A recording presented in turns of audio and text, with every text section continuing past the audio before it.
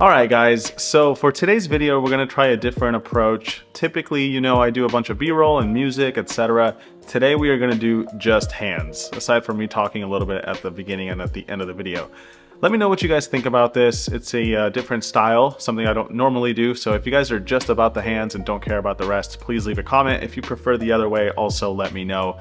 Personally, I like the other way a lot better since there's more creativity and music and stuff. With that being said, uh, today we're gonna go over four different sessions that I've played recently on Hustler Casino Live that did not get covered in the vlog. I think you guys will enjoy these hands. I think it's a total of uh, 12 or 13, maybe even more. If you guys enjoy the video, please leave a thumbs thumbs up. Consider subscribing if you're new, welcome. And that's all I got for now. Let's jump right into some poker. All right, guys, we are going to start the day off with a ridiculously fun hand, at least for me. In this one, Jabrail opens to 500 bucks. Patrick calls next to act, and I'm looking down at ace king suited. I'm going to raise it up, of course, so I make it 2500 and both of my opponents call. Three ways to a flop which is what dreams are made of. 9 6 deuce, all clubs, giving my opponent top set. Patrick doesn't have anything, but that's okay. Of course, I've flopped the nuts with five clubs in my hand. So Jabril leads out for $2,500. Patrick folds. I happily call in position. Turn card changes nothing. It's the 10 of diamonds. At this point, he's only got around a pot sized bet remaining. So no surprise that he announces all in. I, of course, call right away. He wants to run it twice. I've got no problem with that. Luckily, we end up holding on both boards, and just like that, win a nearly $40,000 pot, which is really just a cooler. Interestingly enough, the next fun hand is against the same opponent with the same hand, ace king suited. This time it's the diamond variety. He limps in from early position for 100 bucks. I make it 500. A couple of people call and when it gets back to him, he puts in the old limp re-raise. Makes it 5,000 to go. Typically this is a pretty scary hand as you guys can see, this time is no different. My opponent's got pocket queens, but I've got one of the best starting hands in No Limit Texas Hold'em, so I'm happy to raise it again. Being that he limp re-raised, I feel like calling and just going to a flop is also okay, but I'm happy to give this guy some action, even if I am behind. So I make it $12,000, gets back to him, he starts laughing a bit thinks things over. As you guys can see, he's not entirely sure what's going on, but after some deliberation, he ends up just deciding to call, which if I'm being honest, it's probably what I didn't want to have happen. Would have been okay with an all in or a fold, but now we're going to have to play a flop, which does not help. It's queen high. But if I had aces or kings, I would continue betting small, and I think doing it with ace king suited also makes some sense. So when he checks, that's what I do. Sadly for me, he check raises all in, uh, and I was in pretty bad shape, so I let it go, and we lose this one. This next one is a lot less standard, I guess you could say. Dentist Dave opens in late position to 300, and then Jabril, again battling against him, min raises on the button to 600. Patrick calls in the small blind, and I've got 9-7 suited in the big blind. Considering that the first raise was from late position, Dentist Dave, and then the button only min raised and the small blind called, doesn't seem like anyone's too strong. Sure, we could be up against it sometimes, but I think this is a good spot to try to squeeze and capitalize on some dead money. So with 9-7 suited, that's what I do. I raise it up to $3,000. Dentist Dave folds, Jabril calls, and then Patrick calls as well. Not exactly what I was hoping for, but that's okay. Maybe we'll flop something. Queen 8-5, no spade.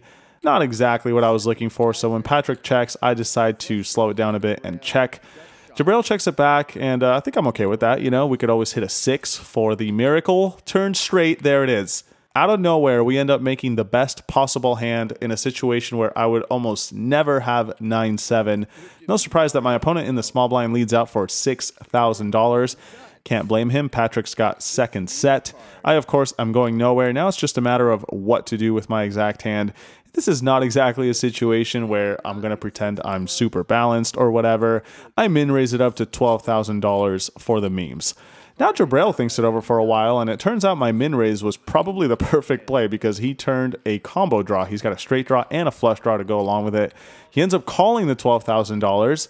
Now Patrick announces all in for around, what, $45,000 Wow, action's back on me. I can't believe my luck. Seems obvious to me that both my opponents have something very good. That's exactly what you want when you've got the nuts. Problem with my exact hand is we probably need to dodge a lot of river cards, including a club and a board pair. Uh, so anyway, not like it really matters. I'm obviously going nowhere.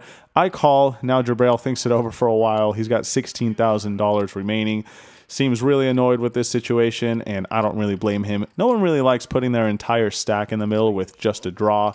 So after some thought, he ends up deciding to fold, which of course is great for me. Now we only need to beat Patrick at Showdown. He wants to run it only one time. Of course, I'm happy either way. River card's a blank, the Jack of Hearts, and just like that, we end up winning an over $100,000 pot. So yeah, this stream is going quite well. Here's another banger of a hand. J-Boogs opens from late position, makes it 400 to go. Patrick calls in the big blind. I call in the third blind with Jack 8 offsuit. Probably questionable if I'm being honest. GT also calls in the straddle, and then Victor calls as well. He limped in from early position. So, all that to say, there's five of us going to this flop, which comes down Queen 9 3 Rainbow. Patrick bets $1,000, and of course, I've got nothing aside from a straight draw, so letting it go is probably the best play, especially when you consider there's three other opponents left to act behind me. But if I'm being honest, I'm feeling kind of good on this day, and I've got some evil plans for later in this hand. I suspect if Patrick had a hand like two pair or a set, he might go for a check raise, so I think his bet on the flop indicates just top pair, and maybe we can get him to fold top pair later in this hand. I toss in the call with some evil intentions later on. J-Boogs calls as well with his pocket fours, which is certainly hopeful on his end. Turn card is the seven of clubs. Now Patrick decides to check. I think this is a green light to start applying some pressure. I could have all sorts of two pair combinations considering that I was nearly closing the action in the third blind.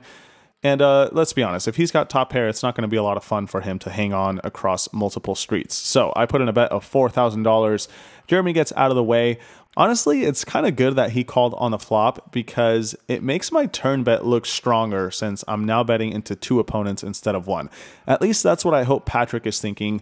Perhaps he's not though because he calls after some thought and we see the jack of clubs on the river. So no help to me. I mean, yeah, I've got second pair, but that's almost never going to be the best hand. Patrick checks it again, and now we have a decision between checking back and giving up or going for it all. Well, if I was not bluffing, let's say I had a hand like 10 8 or maybe some backdoor clubs that now make a flush, I would certainly be betting quite big. So I think with a bluff, which I have in this case, doing the same thing makes sense. He's got around $30,000 remaining, which is a little over double the size of the pot. That seems about right to me. So I move all in for his remaining 32 550. Of course, as you guys can see, my opponent rivered top two pair. And if I'm being real, I probably would not have gone for this if I knew he had top two pair. But uh, lo and behold, after about five minutes of a very stressful tank from Patrick, he ends up letting it go. And unfortunately, I have to show this one because we were playing a round of stand up. Not really a huge fan of showing bluffs immediately after they happen, at least, but whatever, part of the game. And with that, we move to the last interesting one from this stream. Straddle is on for 200. I raise it up with pocket queens. GT re-raises on my left, and when it gets back to me, I think putting in another raise is almost always going to be the play, but occasionally trapping with big hands out of position seems decent as well. So this is one of those rare times where I'm going to do that. We're also extremely deep, so the value of just one pair goes down a bit when you have a ton of money. I make the call and we go heads up to a good flop of 766 with two hearts. So flopping the overpair with queens looks like a safe flop. I check and he bets $3,000. Against some smaller sizings, I think I would check raise happily almost always, but I decided to just call and we see the jack of clubs on the turn. Not my favorite card as now we're losing to pocket jacks uh, as well. But for the most part, I suspect we'll still have the best hand, so going to continue checking and calling any reasonable bet. This time GT's price is 5500 bucks. I make the call and we see the 8 of clubs on the river. Again, not a great card. Backdoor clubs arrive. If he has a hand like 10-9 suited that was perhaps bluffing, that now improves to a straight. Also pocket eights, although I don't think that's very likely given that he's bet the flop and the turn. So anyway, I check it a third time, and now he puts in a bet of $12,000, right around half pot. I don't know, not loving the situation. Doesn't seem like we're beating a whole lot at this point. And also, I'm not sure if GT would play any bluffs this way, at least not with these bet sizings. At the same time, I'm getting a very good price and could even beat some value bets such as ace jack suited or maybe a really thin bet with pocket tens. Who knows? GT is capable of putting in some mysterious bets from time to time. So when that's the case, I think just putting the money in is usually going to be the best play, even though sometimes you can expect to lose. And as you guys can see, this is one of those times as my opponent has rivered a full house. So we lose this one, kind of kills the win in my sails, but still ended up having a good day. Let's move to the second stream. All right, on this day we are playing 10, 20, 40. Yen opens to $110. Dentist Dave re-raises to 330 in late position, and I am looking down at the beautiful King 9 offsuit in the small blind. It's not every day you get monsters like these, so I raise it up to $1,400, and only Dentist Dave makes the call, so we're going heads up to a flop of Queen Jack 8 with two diamonds typically going to be a better flop for my opponent than for me. So I think with overpairs, it's okay to check them. With king nine off, I'm going to do the same thing this time. So I check it, not necessarily giving up on the hand, but at least just starting the flop with a check. Dentist Dave checks it back, and we get the dream on the turn. 10 of diamonds, giving me a straight and giving my opponent a set. Of course, it does put a one-liner to a straight and also a possible flush out there, but I don't suspect either of us will have a flush very often, so I'm happy to bet my straight for value. Put in 1400 bucks, Dentist Dave calls, and we got a blank on the river, the six of spades. I'm just going to continue betting for value, this time $4,400. I feel like Dentist Dave could certainly have a hand like ace queen, maybe two pair, you know, hands that'll call, but we're still ahead of. And sure enough, after some thought, he ends up tossing in the call, and we win a $14,000 pot after getting lucky versus pocket tens. In the next one, we get pocket kings.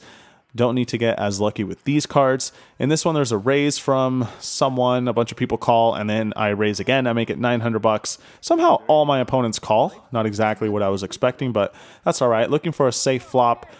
This one is overkill though. King, king, five. That's right. We flop quads. I mean, yeah, it's cool. Don't get me wrong. Flopping quads is always awesome. But in this particular situation, I'm not exactly happy with it because what the heck are we expecting to get value from? So I do the typical thing and check it. Action checks around, hoping the turn card gives someone maybe a full house or just something. Four of clubs, probably not going to do it though. This time when the action checks to me, I decide to finally put some money in, $1,100, and only Veins makes the call in the big blind. So just two of us going to a river, which is the six of hearts. He checks again. I bet $4,400. And he doesn't think too long before calling, keeping me honest with his uh, turned pair of fours. Unfortunately for him, this time I've got it and we win a nice pot. As you guys can see, it's pretty easy to play when you have a super strong hand. This next hand, though, it's going to show how uh, not as easy it is when your hand is like medium strength. That was a weird way of saying that, but bear with me. So in this one, the $80 straddle is on. I raise it up with ace queen to 240. Francisco calls on my left, and then Nate Hill kicks it up to $820. Dentist Dave cold calls, and when it's back on me, I think ace queen is a really good candidate to put in the squeeze with. Seems like we've got some dead money in the mix, but for unknown reasons, this time I decide to take it easy and just call. Francisco gets out of the way, so we go three ways to a flop of queen 10 6 with two clubs. I've got the ace of clubs and, of course, top pair, top kicker, so good flop for me. We both check it to the initial raiser, which in this case is Nate Hill. He's got ace jack suited and decides it's worthy of a bet. Don't blame him. He's got backdoor hearts and a possible straight draw, also the overcard. So I guess his bet makes sense. 1200 bucks into the middle. And now Dentist Dave check raises to $4,000 hmm, perhaps a bit concerning. I've got the ace of clubs, so it's a little less likely he's doing this with flush draws. But at the same time, I've got a queen, so I don't really see how he could have two pair. I guess queen 10 is possible, but, you know, not very likely. Hand I'm most concerned with is, of course, pocket tens, which I do suspect he would play this way. But I'm not just going to fold to uh, a single check raise. I've got top pair, top kicker, and I want to see another card. So I toss in the $4,000.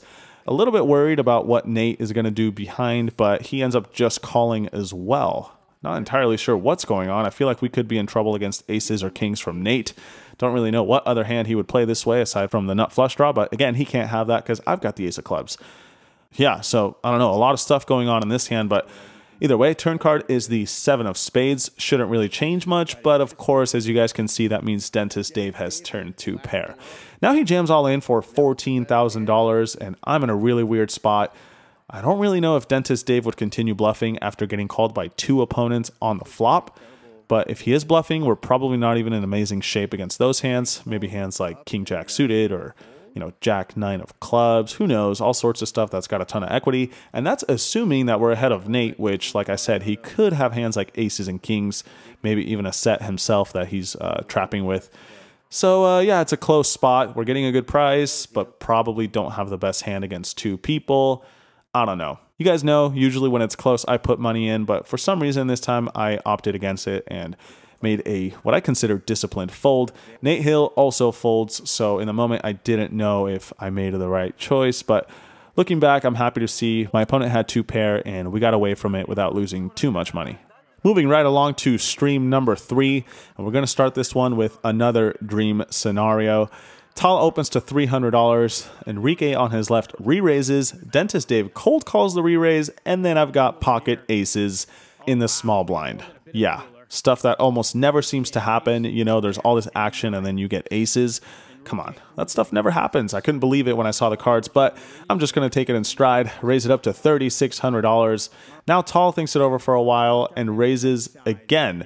I think it's obvious at this point he's got either maybe ace king suited or pocket kings. I don't even think he would play queens this way, but anyway, he kicks it up to around 10,000 bucks. Everyone else folds, gets back to me, and considering that he's put in a pretty big amount of his stack, I decide to just get it in.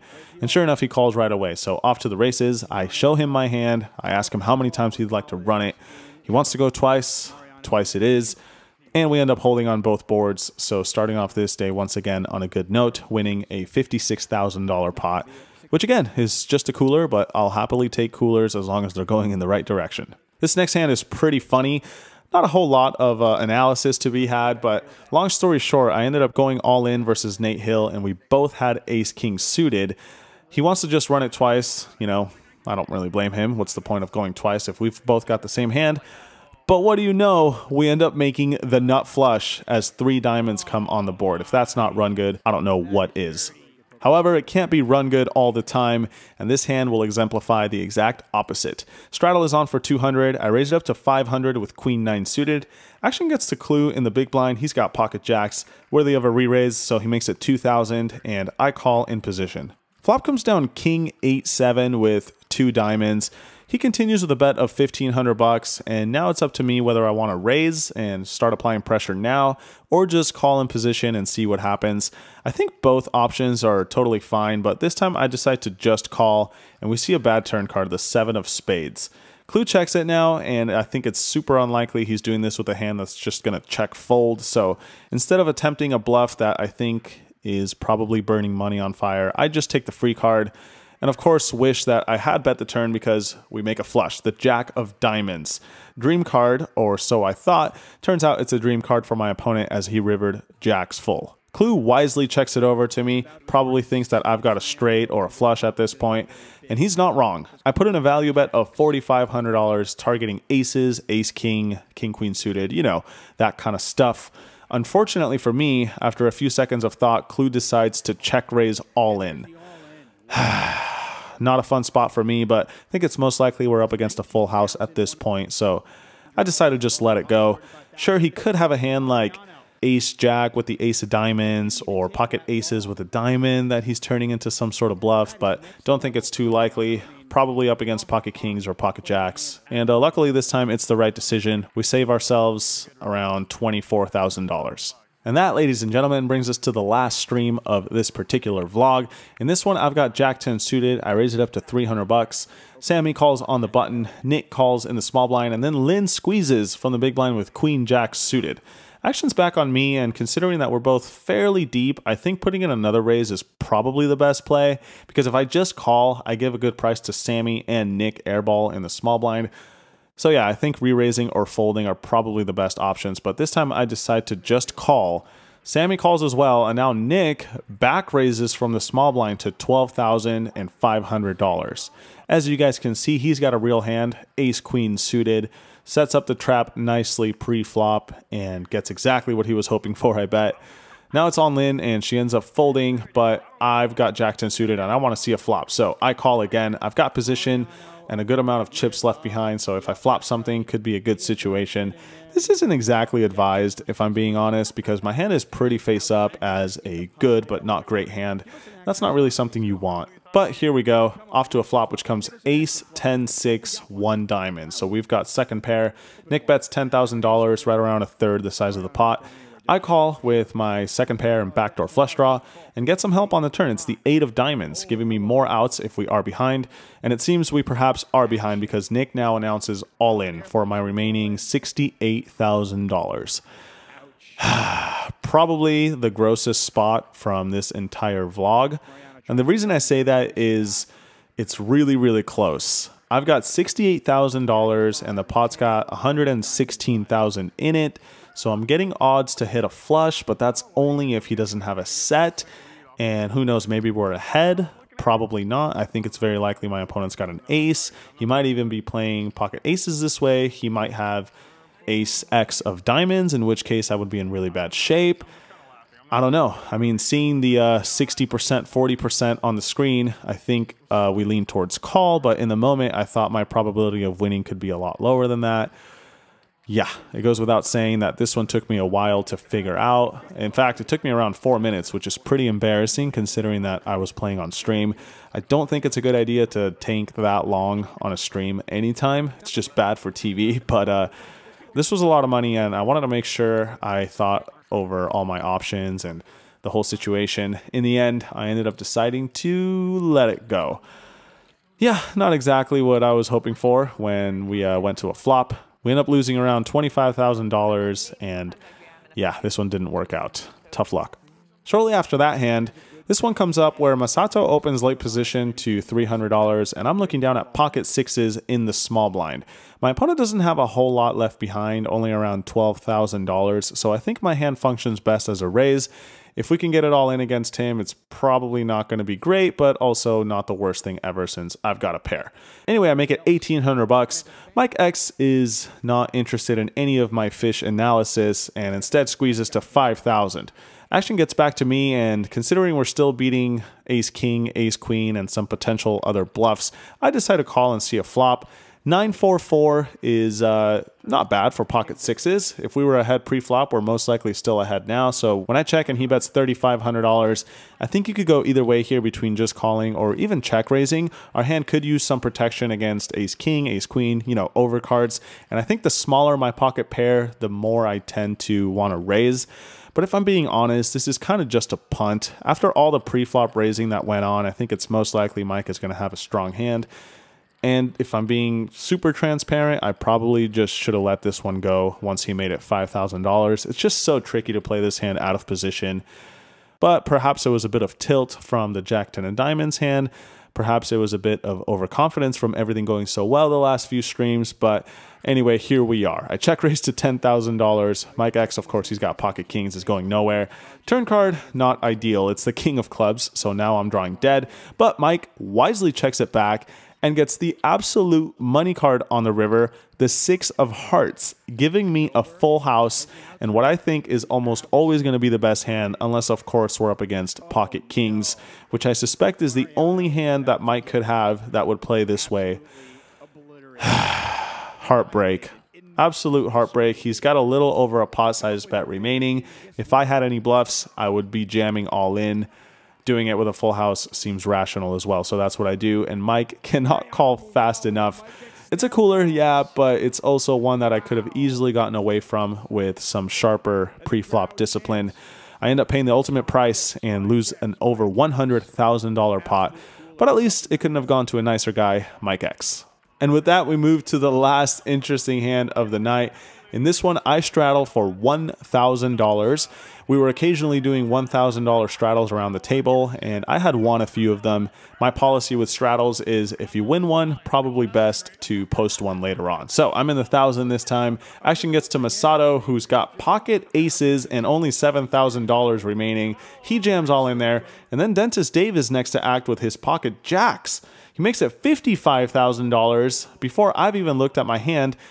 What do I got? It's ace queen. I can't believe it. I've actually got a really strong hand in the straddle, and I think Dentist Dave could be jamming all in, or effectively jamming all in, since he put in over half his stack, in hopes of just getting me out with any two cards.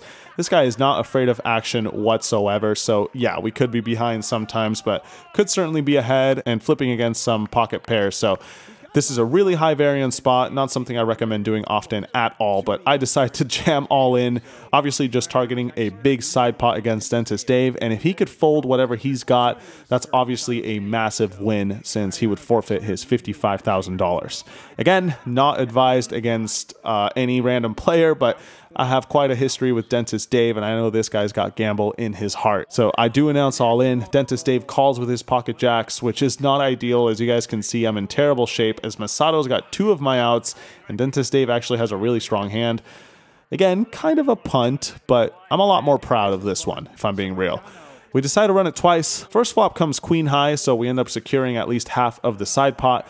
Second flop is king 10 7, so I've got a straight draw, looking for a queen or hopefully a jack. We could give Dave a set now, but we end up not hitting any of our outs and chop this massive side pot with Dave and of course have to give Masato around $7,000. He earns himself a triple up. And to be honest, that was probably the best thing I could have expected from that hand altogether. $200,000 pot and we only end up losing around 7k.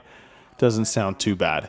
Anyway, that was the last fun hand of this video. As always, I hope you guys enjoyed. Right, so as you guys saw, a lot of tough situations, a lot of run good, a little bit of run bad. I feel like it was a good mix of everything you want from some interesting hands.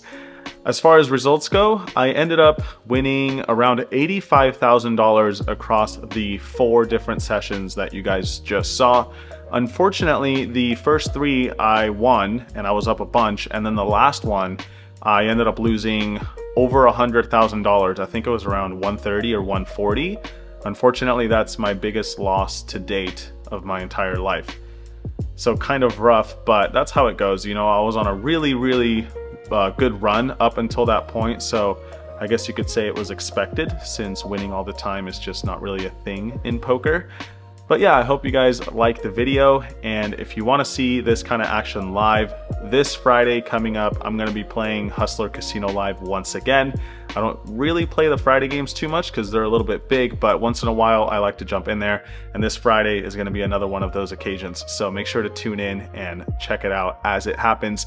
If not, um, I'll cover this one, uh, this upcoming session in a vlog as well. So there's always that. All right, like always, thank you so much for watching. Thanks for the support. Again, let me know what you think of this video style as opposed to the normal one. And until next time, good luck at your local tables. Peace.